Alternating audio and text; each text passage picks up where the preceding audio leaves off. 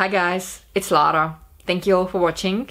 Today I'm gonna be talking about how I healed my chronic gastritis while still on vegan diet.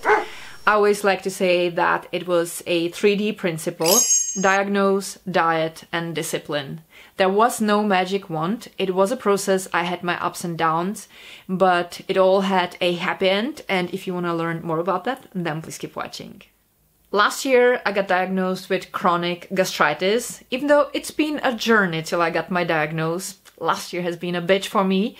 So at the beginning of the summer, I had strong abdominal pain and some other symptoms I'm gonna go into in a bit. And that was the reason why I ended up in a hospital. And after they ran a few checks, they found out that there was a change in my liver tissue. So later, we found out that I have a benign liver tumor I call my liver tumor Marla, and if you want to meet Marla and learn more about her, I'll link a video down below. So anyway, since anybody was from that time on focusing on my liver, no one even thought about the idea doing a gastroscopy. And I had a gastroscopy done two months later. And that's when I got my chronic gastritis diagnosed. And it looked as though I had acute gastritis at first, but because it hasn't been treated, it developed into chronic gastritis. My symptoms were following loss of appetite, nausea, burning pain in my stomach, sometimes also pinching pain, and I was always feeling super full even after eating the smallest amount of food, and I also felt pressure in my upper belly. Now let's compare my symptoms with the general gastritis symptoms. Gnawing or burning ache or pain, indigestion in your upper abdomen, that can get better or worse after eating, nausea, vomiting, a feeling of fullness in your upper abdomen after eating. So it's pretty much what I described. I'm not sure what exactly caused my gastritis. There are several things that may cause gastritis, but there is one thing that is very common, and that could be a bacterial infection with a bacteria named Helicobacter pylori or pylori, not sure how to pronounce it in English. The symptoms are very similar, but there are a few extra. So the symptoms of a Helicobacter pylori infection would be an ache or burning pain in your abdomen, so that's basically the same. Abdominal pain that's worse when your stomach is empty, nausea, loss of appetite, frequent burping, bloating, bloating and unintentional weight loss. And such infection needs to be treated with antibiotics. It's usually being done with two different type of antibiotics at the same time. And it's really important to do that to get better. You have to keep in mind when gastritis is not being cured, it, it can cause an ulcer, which is even more painful, or in worst case, cancer. So if any of you is dealing with these symptoms, I would highly recommend going to a doctor and having a gastroscopy done and they should definitely check for possible bacterial infection. And I think it's also always great to check the stomach acid levels. So the pH uh, of your stomach acid should be three or lower. And whenever people are having too low stomach acid, it can cause similar symptoms and some extra, and it might be easily confused with gastritis, but the treatment is a little bit different these would be the signs of uh, not enough stomach acids. So feeling like you want to eat even when you're not hungry, feeling too full after regular meals, which would be similar to the gastritis symptoms, indigestion, uh, gas or flatulence, bloating, constipation, diarrhea, soreness or burning in your mouth, stomach upset and cramps, undigested food in stool, nausea, heartburn. And I'm just gonna read you the treatment. So hydrochloric acid, supplements, and enzymes. Your doctor may prescribe supplements such as betaine uh, hydrochloride to restore the pH of your stomach. The stomach enzyme pepsin is another common treatment. And uh, the diet needs to be changed. So, your doctor may also recommend to go on a diet that's really easy to digest. And they also very often suggest supplementing iron, zinc, calcium, and vitamin B. In my case, it came out that I did not have any bacterial infections and I did not have any issues with my stomach acid levels, so it was clearly gastritis. And since my stomach lining was irritated at the beginning, I was given a certain medicine to protect the stomach lining, and that was Pantoloc. I've been told that I shouldn't take Pantoloc longer than six months, and I've been told to take extra magnesium while being on that medicine. And I made sure that I would get off the medicine after about like three months.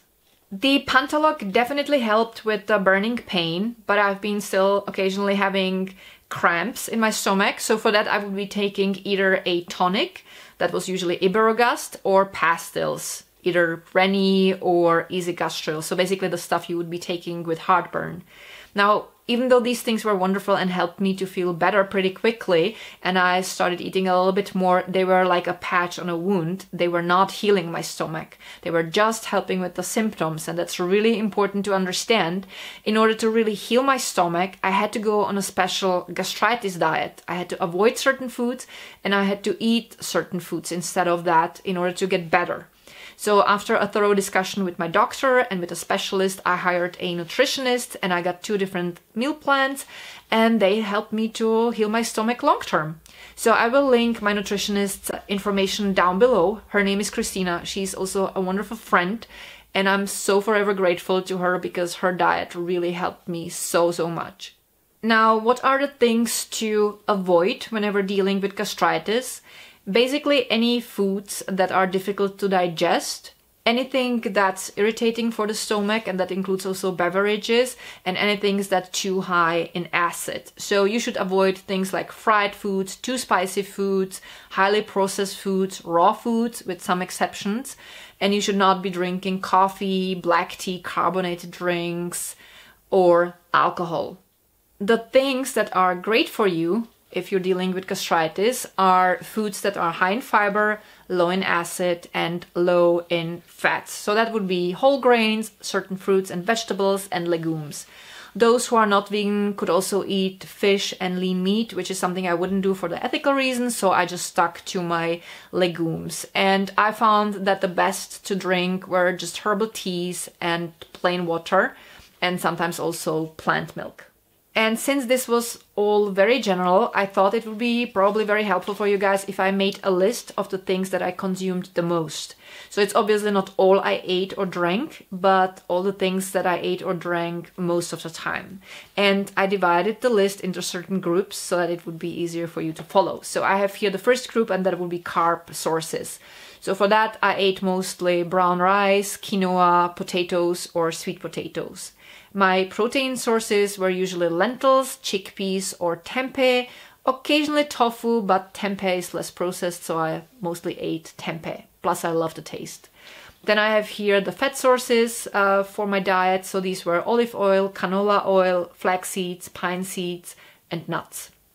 The vegetables that I ate the most, but cooked or at least steamed, were broccoli, zucchini, carrots, brown mushrooms, pumpkin, Spinach, although in moderate, moderate amounts, because I find that when I eat too much spinach, it can make me feel a bit nauseous.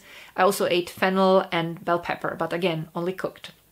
The fruits that I ate the most were bananas, steamed apples, pears, raspberries, strawberries, blueberries, mango, apricots, or dry goji berries. And from all these fruits, I would steam only the apples or the pears, and the rest I could eat fresh.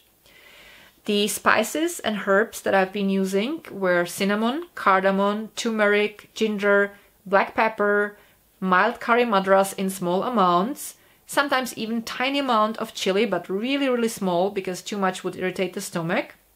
Uh, instead of salt, I've been occasionally using vegetable stock without yeast, or I've been using simply sea salt with iodine.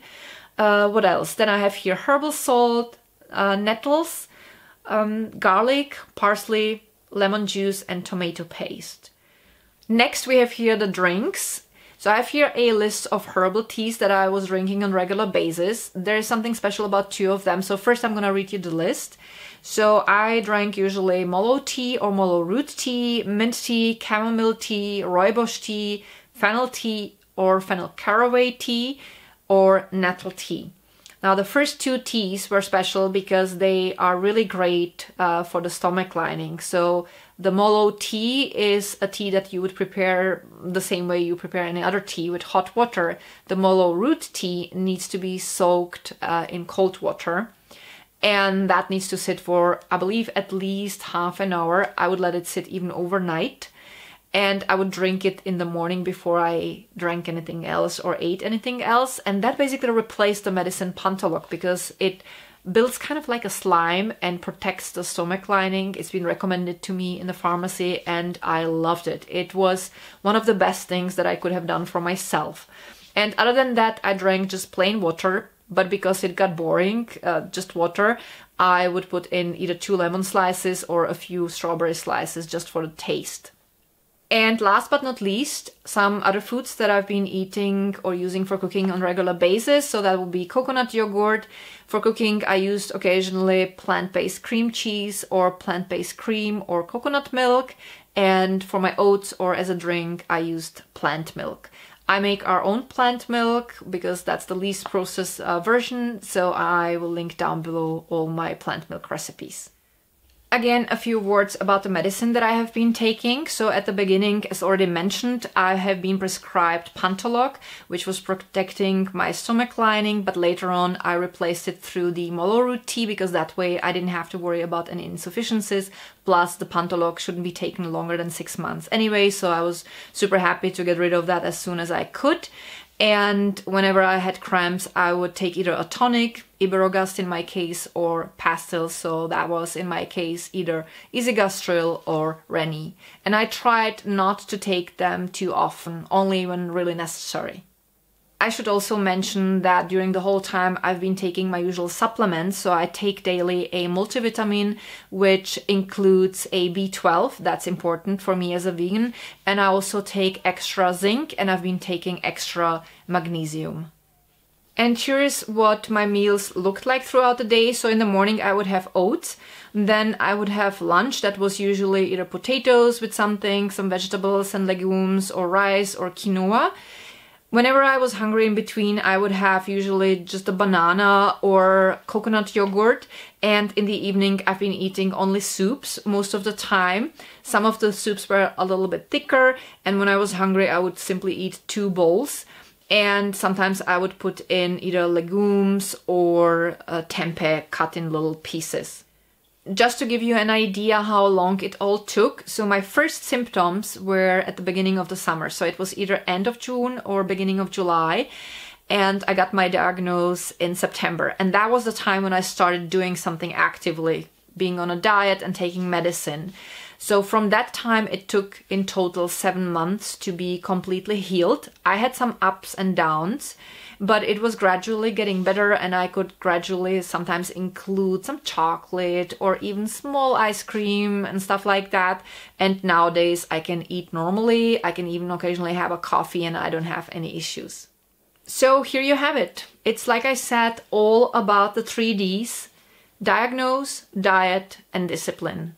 Medicine alone won't do the trick. It will help with the symptoms, but it won't heal the stomach. For that, you will have to go on a diet and you have to be patient. So you will probably experience some ups and downs, but it will gradually get better. And that's gonna be it for today. If you guys have any questions, please write them down below in the comments. I will try to get back to you as soon as I can and to answer to the best of my ability. And you might also want to check my recent What I Eat in a Day videos. I will link both down below. And that's gonna be it for today. Thank you all so much for watching. I appreciate you guys very much. God bless you and see you soon with my next video. Bye!